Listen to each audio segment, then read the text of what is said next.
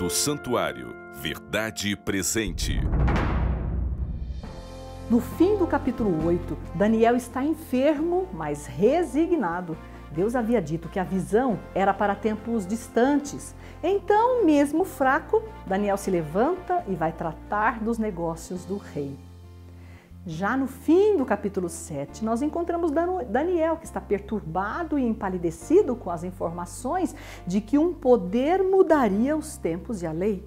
Imagine, mudança na lei de Deus? Motivo suficiente para adoecer. Agora, mudança nos men? Isso era demais. É que essa palavra hebraica para tempos, em Daniel 7,25, está relacionada a calendário. E claro que Daniel entendeu as implicações disso. Se alterassem o calendário de tempo, haveria dificuldades na compreensão da interpretação das profecias.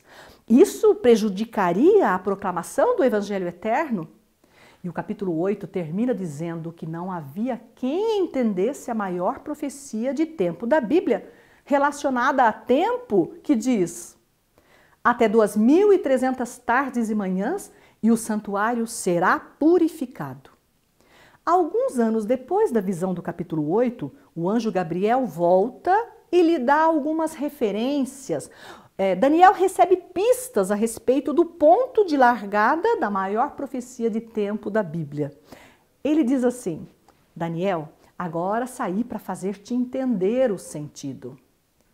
Resumindo, Observe que no capítulo 8, Daniel vê um carneiro e um bode. Agora vem o que é de mais importante. Carneiro e bode eram animais oferecidos no dia da expiação. O carneiro era oferecido nas cerimônias diárias e também no dia da expiação. E o bode participava da expiação redentiva e punitiva. Você lembra disso? No meio do capítulo, o anjo Gabriel lhe apresenta o período das 2.300 tardes e manhãs, que tem a ver com a expiação que não tinha sido entendida por Daniel.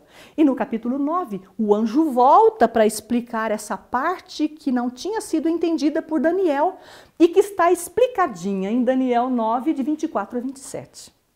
Agora então nós vamos ler o texto que explica as 2.300 tardes e manhãs de Daniel 8,14.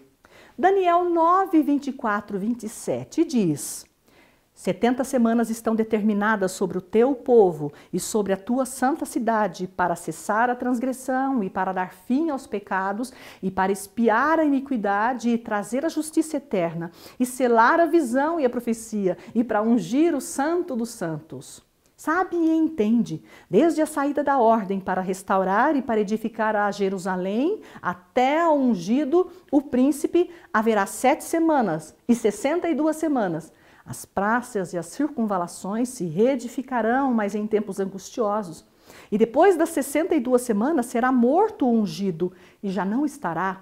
E o povo do príncipe que há de vir destruirá a cidade e o santuário, e o seu fim será num dilúvio e até ao fim haverá guerra. Desolações são determinadas, e ele firmará aliança com muitos por uma semana, e na metade da semana fará cessar o sacrifício e a oferta de manjares.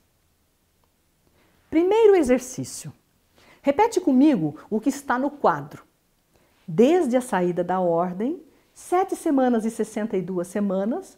Depois das sessenta e duas semanas será morto ungido na metade da semana, fará cessar o sacrifício. Segundo exercício. Agora nós vamos decodificar algumas expressões. Observe a tabela de compreensão do texto de Daniel 8,14 e Daniel 9, 24 a 27. Primeira linha.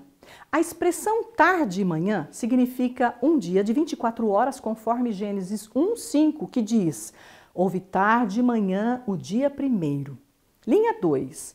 Um dia em profecia bíblica significa um ano. Uma semana são sete anos e 70 semanas é igual a 490 anos, de acordo com Ezequiel 4, 6, que diz: 40 dias te dei, cada dia por um ano. Linha 3. Um tempo em profecia bíblica significa um ano, de acordo com Daniel 11, 13, que diz: e ao cabo de tempos, isto é, de anos. Linha 4. No texto de Daniel 9:24, temos a palavra hebraica shatak, traduzida para o português como determinadas. Mas a melhor tradução para shatak é cortar. A palavra shatak aparece como cortar na Mishnah, que é um comentário bíblico judaico, aparece também na concordância de Strong, aparece também na tradução de Whitening, no dicionário caldeu rabínico de Estócios, nas versões mais antigas da Vulgata e da Septuaginta e em muitas outras versões. Então, a frase de Daniel 9:24 é, deve ser entendida assim, olha. 70 semanas estão cortadas dos 2.300 anos. É um período de tempo especialmente dirigido ao povo de Daniel, os judeus. E vamos para o terceiro exercício? Leia comigo. Vamos fazendo interpretação do texto. 70 semanas estão cortadas sobre o povo judeu, cortadas dos 2.300 anos, para os judeus reconhecerem o Messias. E qual é o ponto de largada das 2.300 tardes e manhãs? Quando é que começa o período? A largada, o ponto de partida da profecia está na expressão sabe e entende, desde a saída da ordem. Esse é um ponto nevrálgico. Veja, na linha 5, essa ordem foi um decreto expedido pelo rei Artaxerxes. Está escrito assim: Por mim se decreta que no meu reino todo aquele do povo de Israel e dos seus sacerdotes e levitas que quiserem ir contigo a Jerusalém, que vá. Vamos explicar isso, olha. Lembra daquele povo que deveria ficar nas terras de Canaã entre os continentes habitados da época e que foram levados por Nabucodonosor da Babilônia, cativos para a Babilônia? Pois é esse povo. Agora estava na hora desse povo voltar para casa e Deus deu uma chance para eles, para eles apresentarem o Messias ao mundo. Esse era um tempo de graça. Esse tempo seria de 70 semanas ou 490 anos. Precisamos saber o ponto de largada para entender todo o período da profecia. O problema é que a data da partida do cativeiro não aparece na Bíblia. A Bíblia não oferece a data da saída da ordem. E tem uma coisa bem importante aqui. Analisando as informações de livros, enciclopédias e toda a documentação disponível, surgem duas datas possíveis para a data da saída da ordem, que pode ser 458 a.C. e 457. Por causa disso e outros pontos controversos, a doutrina do santuário celestial, em conexão com a profecia das 2.300 tardes e manhãs, tem sofrido severos ataques. Mas nós temos boas novas um livro escrito em inglês pelo tradutor público juramentado Dr. Juarez Rodrigues de Oliveira, que eu chamo de doutor pela envergadura de sua obra. O livro é intitulado Estudos Cronológicos Relativos a Daniel 814 e 924 a 27. A conclusão dessas pesquisas é que existe precisão matemática, histórica e astronômica nas datas propostas pela Igreja Adventista do Sétimo Dia quanto à profecia das 2.300 tardes e manhãs e das 70 semanas. Que as datas que formam as 2.300 tardes e manhãs, o ano 457 a.C., para a saída da ordem de Artaxerxes, o ano 27 da nossa era para o batismo de Jesus, o ano 31 para a morte de Jesus, o ano 34 para a morte de Estevão e 1844 para o fim das 2.300 tardes e manhãs e o início da expiação, essas datas são absolutamente precisas. Esses trabalhos apresentam provas bíblicas, históricas, cronológicas, matemáticas e astronômicas que são capazes de mostrar que a data da saída da ordem é precisamente o outono de 457 a.C., no décimo dia do sétimo mês judaico, 10 de Tirgi, ou 28, 29 de outubro do calendário juliano. Que o meio da septuagésima semana coincide com o 15º dia do primeiro mês judaico, ano 31 da nossa era, que é 15 de Nissan, ou 26, 27 de abril do calendário juliano. E o período inteiro termina no décimo dia do sétimo mês judaico, em 1844, 10 de Tirge, ou 22, 23 de outubro do calendário gregoriano.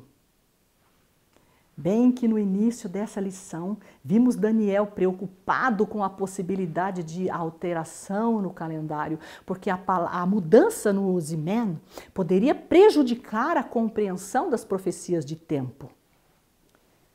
E sabe que bem que se tentou, mas existe suficiente material que prova que poder algum foi capaz de alterar a ordem da semana. Poder algum pôde destruir a compreensão da maior profecia de tempo da Bíblia. Profecia de tempo, que por sua própria engrenagem tem vinculação com a tipologia das festas judaicas.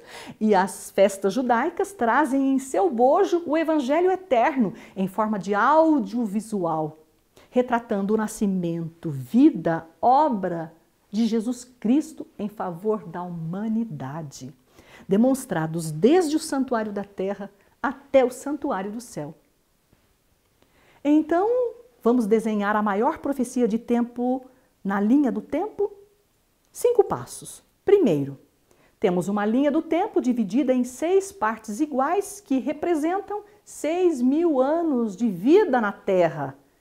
2.300 tardes e manhãs é tempo profético e precisamos fazer a conversão dia a ano que é 2.300 dias igual a 2.300 anos.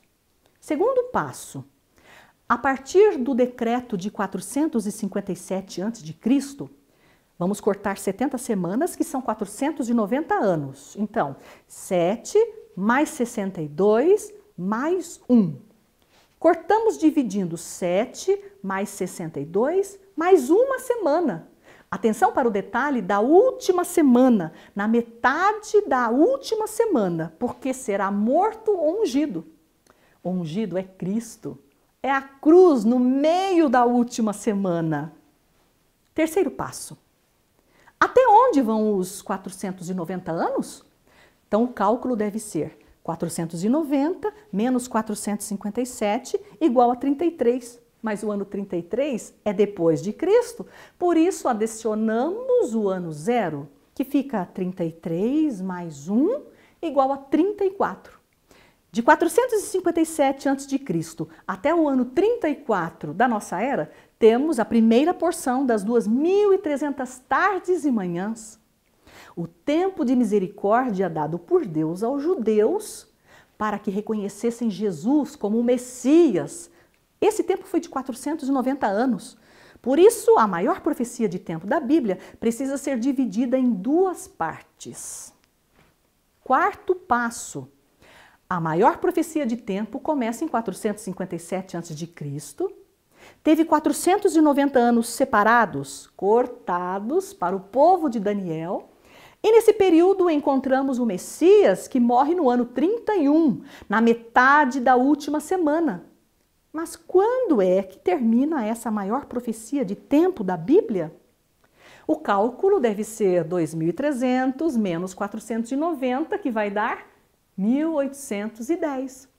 A primeira parte é de 70 semanas ou 490 anos, e a segunda parte é de 1810 anos restantes.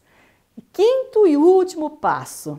Finalmente, para descobrirmos quando termina a maior profecia de tempo da Bíblia, aquela que precisa ser cortada em duas partes, tendo a primeira parte de 490 anos e a segunda parte de 1810 anos, precisamos fazer 1810 mais 34, 1844.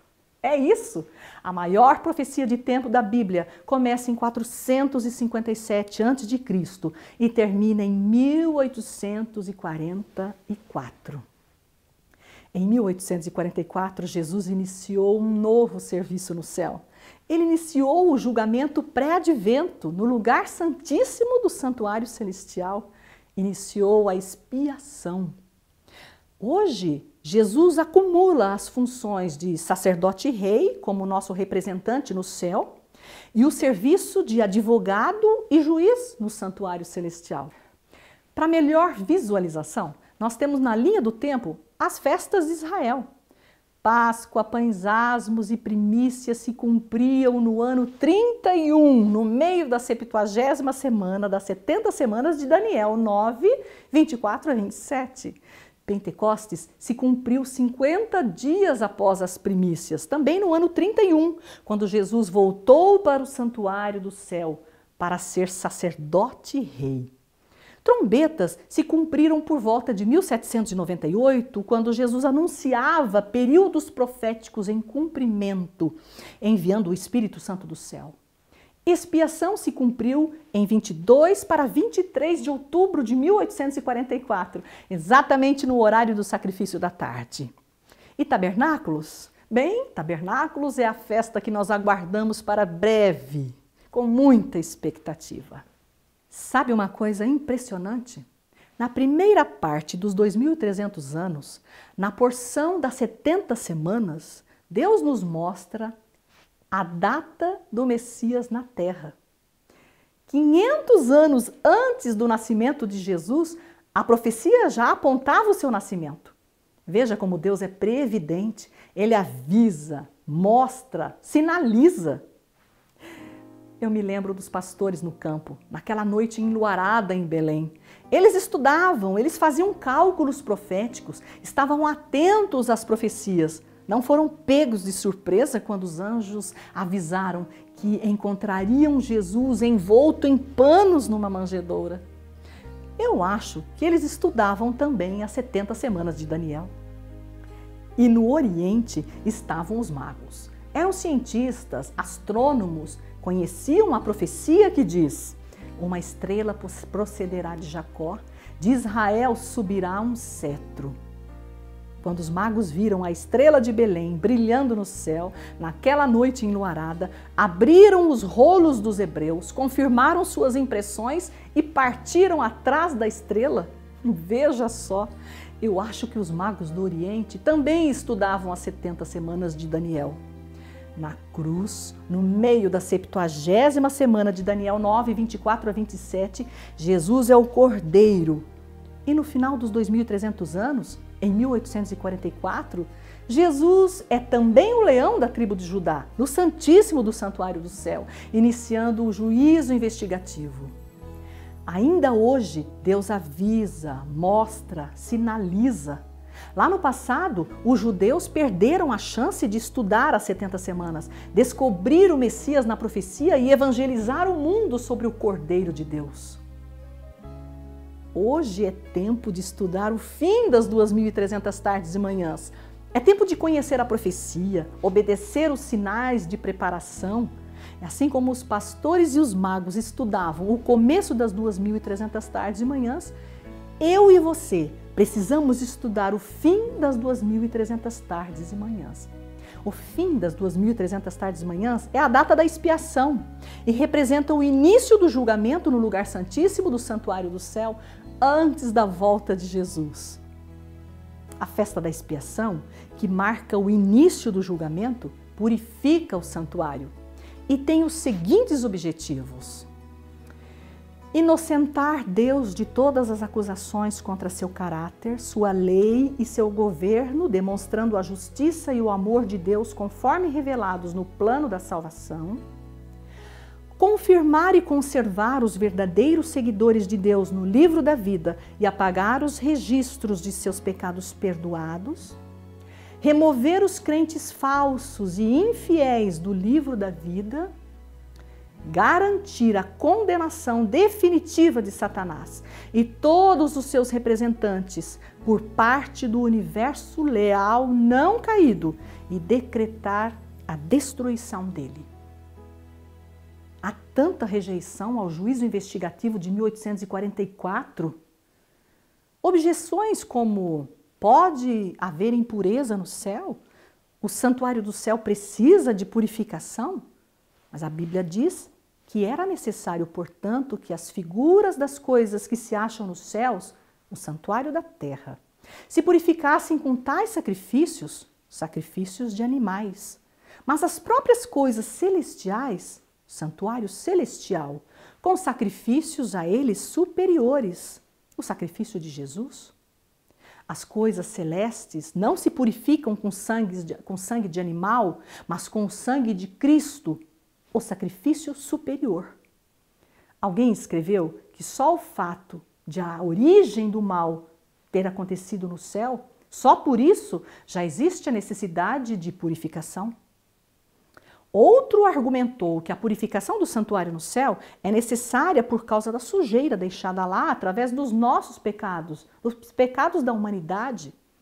Porque a impureza que alcança o céu são por nossa causa, vem de mim e de você.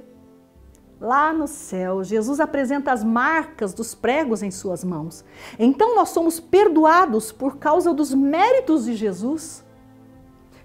E vamos fazer mais um exercício? Vamos falar juntos. Veja, Daniel 2, ouro, prata, bronze, ferro, pedra. Daniel 7, leão, urso, leopardo, terrível e espantoso, chifre pequeno, julgamento. Daniel 8, a sequência é carneiro, bode, chifre pequeno, purificação do santuário. A coluna Bíblia e História é assim: Babilônia, Medo-Pérsia, Grécia, Roma política, Roma papal, julgamento. O Senhor que dá o sol para a luz do dia e as leis fixas da lua e das estrelas para a luz da noite, que agita o mar e faz bramir as ondas, o Senhor dos Exércitos é o seu nome. Entre pela fé no santuário celestial e descanse no Senhor.